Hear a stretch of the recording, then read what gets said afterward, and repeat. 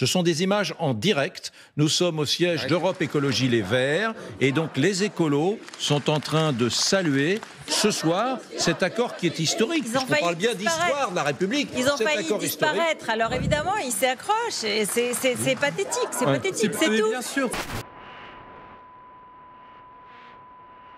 Moi, par exemple, moi, je, moi, je te le dis, LFI au pouvoir, je pars, c'est sûr. C'est ça. Quand vous voyez déjà tous ces gens qui sont ensemble à la tribune, les Verts, euh, les écolos, les insoumis, les communistes, qu'est-ce que ça vous, qu'est-ce que ça vous fait tout simplement? Honte. Pour moi, c'est un très grand choc. Et c'est une extrêmement mauvaise surprise. Je suis assez choquée que vous ayez évacué comme ça d'un verre de main ce problème de l'antisémitisme. Oui. Osez appeler du nom du Front populaire de Léon Blum un mouvement, un rassemblement avec des antisémites.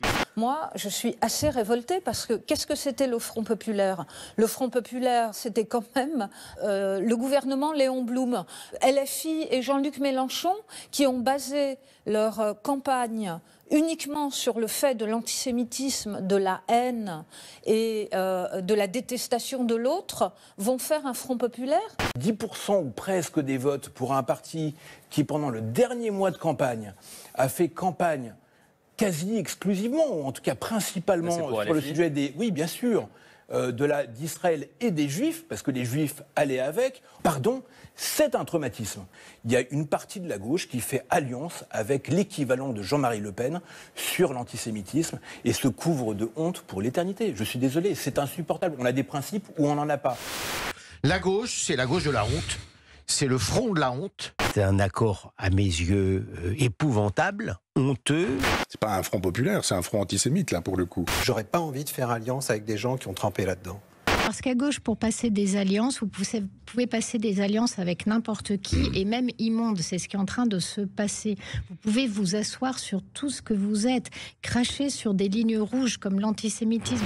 Une union, là? Une union, l'union peut. euh, avec des antisémites, des vrais, des anti-parlementaristes, des vrais, des factieux, des vrais? Il y a une partie de LFI qui est tout simplement dans une stratégie qui correspond exactement à ce que les fascistes ont fait dans les années 30. Des LFI pervers, euh, cyniques.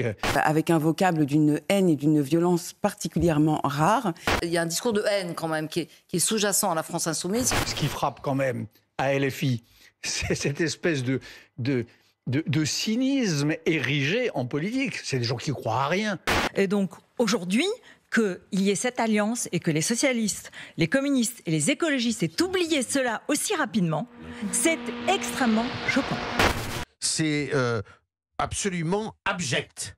Abject parce que là, il y a une chose chez eux qui est supérieure à tout dans euh, le, je dirais, dans l'abjection, c'est cet antisémitisme qui habite cette cohabitation. L'antisémitisme aujourd'hui, il est chez Vous l'avez trois fois. il est chez Jean-Luc Mélenchon, il est dans les manifs de la France insoumise. Comment voulez-vous que ces gens qui ont fait toute la campagne des européennes sur les arguments antisémites, qui ont mis Madame Rima Hassan en, en- en- en tête de, leur- de- quasiment de leur liste, comment voulez-vous qu'on puisse les croire si en une nuit ils décrètent que c'est fini, qu'on efface tout ça, que c'est caduque. Toute leur campagne est caduque. Ils veulent être élus, réélus. Et puis si ça se fait sur le dos des juifs, c'est pas très grave.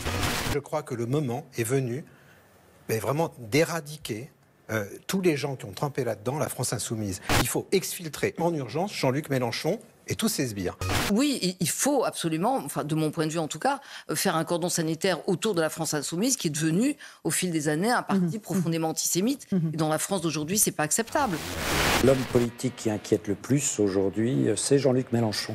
Jean-Luc Mélenchon euh, inquiète beaucoup plus que Jordan Bardella ou Marine Le Pen. Il récolte ce qu'il a semé. Quand on sème la haine, eh bien on récolte d'une certaine manière la haine.